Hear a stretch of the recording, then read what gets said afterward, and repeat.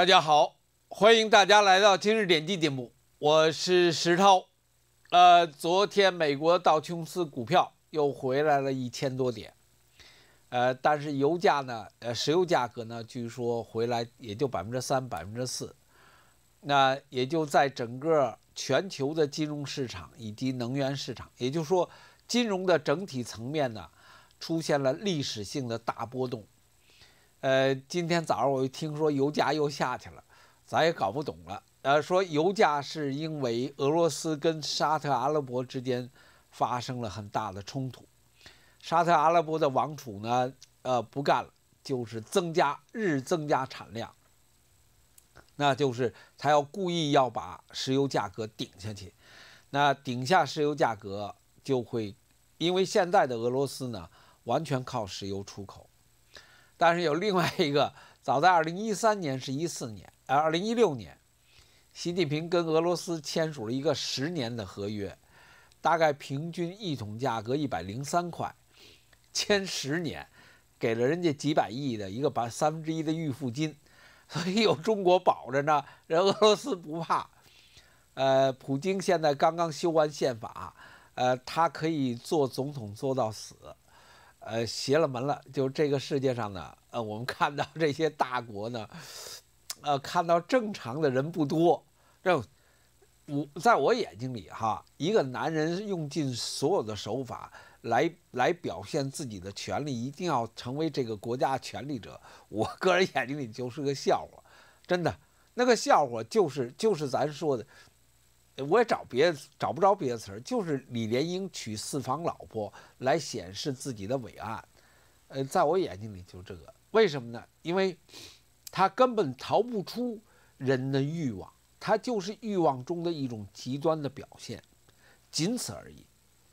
也就是那个人，他越在人中显现着自己的伟大，其实在生命中就显现他自己的渺小。很多人看不懂这个含义。啊，看看不懂这个含义的意思，就是说他生活在肉上，而肉欲的一切，在这种就是众目睽睽之下去讲究自己的那种占有，放弃是人的尊严，放弃是人的德行，放弃是一个人真正人性的光辉。这是在任何的历史上中外的作品中，所有人都认可，人的生命自然展现。都可以表现出这一氛围，对不对？那习近平到武汉出访，大概前后不到十二个小时。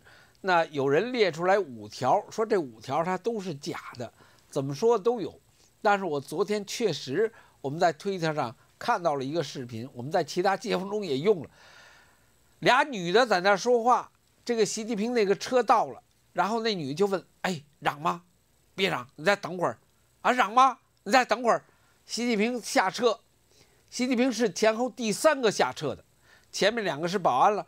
哎，出来了，出来了！你听那视频里头，出来，出来，快喊，习主席好，呃，武汉加油，写中国加油，习主席好。这习近平往前走两步，冲着这个拍视频的这个嚷嚷这个，啊，大家好，他怎么说话是娘娘嗓？我没想到他说话是娘娘嗓，哎。呃，呃跟原来声音有点不太一样，哎，这就对上话了。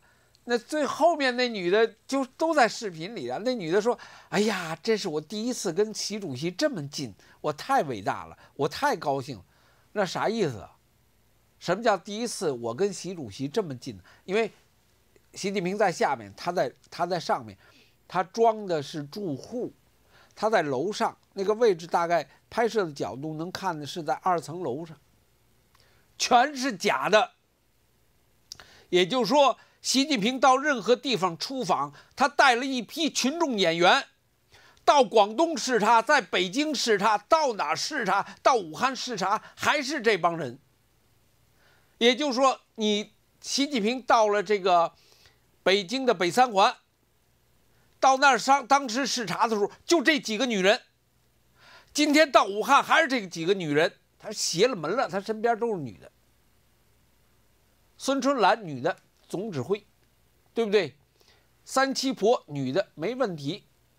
那个外交部发言人女的出事了，谁让他发推文来的？呃，给骂去了，出来一个男的。那个武在武汉，这个医生总指挥是少将还是女的？叫陈什么？陈平是什么？在 P4 的病毒实验室。我早跟大家讲了，他生他生命有缺陷，他生理有缺陷，才出现这种事情。他为什么女的？他不信男的，一个男的他都不信。在女人面前，他有优越感。没他他你我，所以我说跟李莲英一样，还你没办法，这个东西你治不好的。那个视频拍视频的人自己没有任何意识。竟然他自己拍的给是放到网上了，哪有那样的？就最后那句话就点睛了。哎呀，这是我第一次跟习主席这么近，那前头几次没有那么近，没凑跟前儿。所以这就是今天我们看到的武汉，一切都是假的。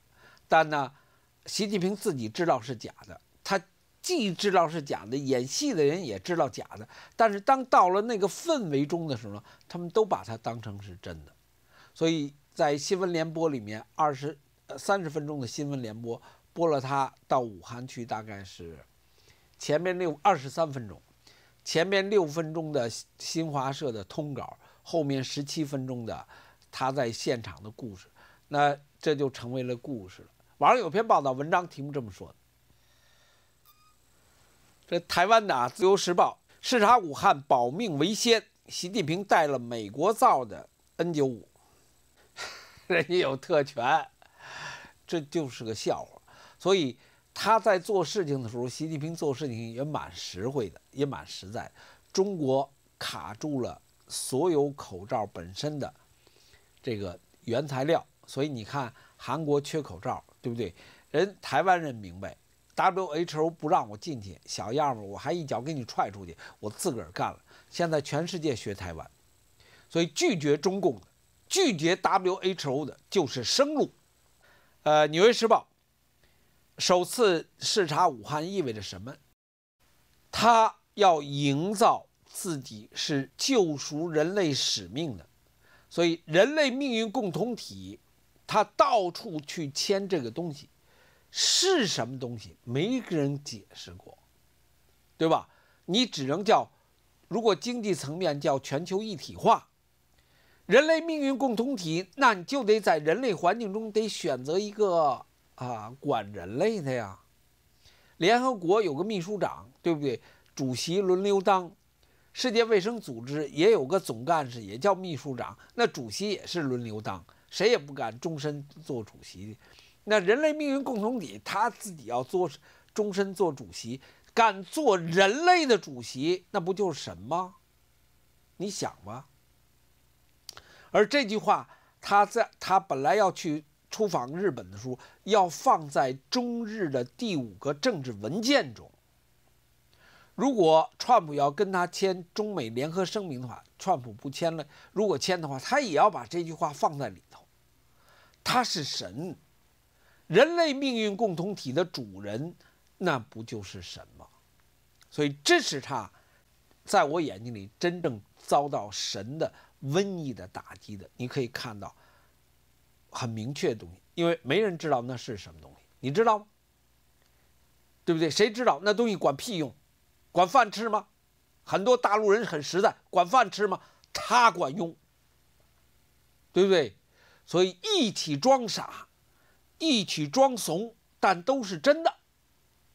这事儿你就这事儿你就不好办了。所以在欧洲跟美国出现衰败、出现不得不面对疫情的背景之下，他习大大就视察了武汉。我刚才看到的消息说，武汉已经要求复工了，湖北要求武汉复工了。呃，首次来这座城市。来证明他的政府正在遏制一场伤害他在国内外形象的危机，伤害他，他没有伤害他，这个危机本身并没有伤害他，他自己在伤害自己，对吧？呃，北京话那副狗怂样，他自己干的，这事儿都是他自己干的，亲自领导、亲自部署，那都不是正常人说的话，但他可以说出来，大家要明白这道理，那不是正常人说的话，但他可以说出来。对不对？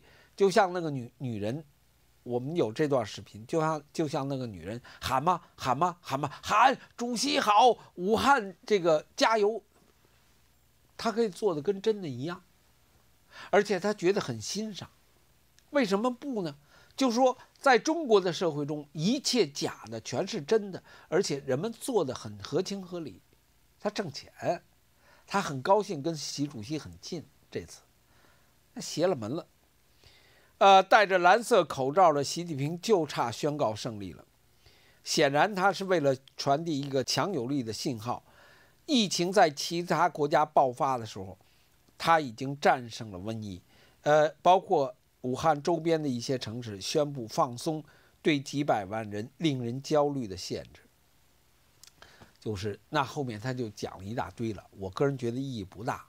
呃，意义的本身就是他来到武汉。然后呢？武汉宣布复工，他战胜了疫情。瘟疫历史上的过程，中外中国外国都是一样，只有瘟疫放弃了，就是呃离开了人，没有人战胜瘟疫。明年他还来，不就这事儿吗？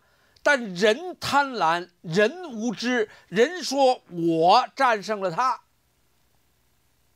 所以这块肉把人变得极其的愚蠢，啊，极其的愚蠢和贪婪。那好，这期节目就到这里，谢谢大家，再见。